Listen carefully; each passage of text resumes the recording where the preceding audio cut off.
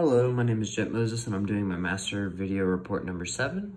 I am doing it over the painting Madame X. Here's the painting right here.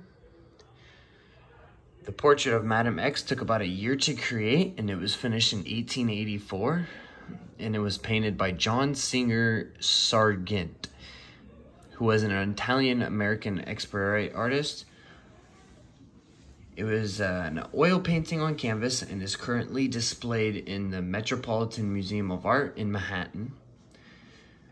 John Singer wasn't, uh, he had hoped the portrait would make his career, but the painting, however, set off a scandal of such magnitude that the Sargent exiled himself to England.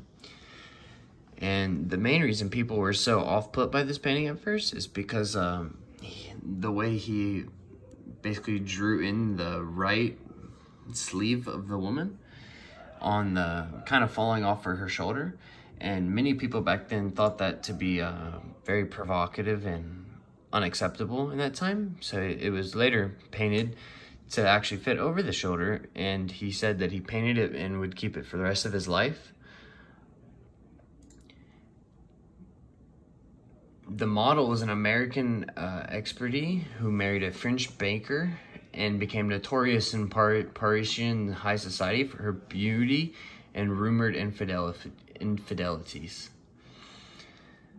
This was very important painting back in the day because it kind of set foot to most of the paintings that we know nowadays and cleared the path for a lot of artists.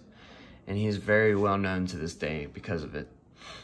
And fun fact, to this day, Madame X inspires novels such as Gioia de I Am Madame X and other provocative theories. It is one of the most famous and well-known photos, mainly because of the arm strap that is missing on the previous one. But in all retrospect, it gave him a career.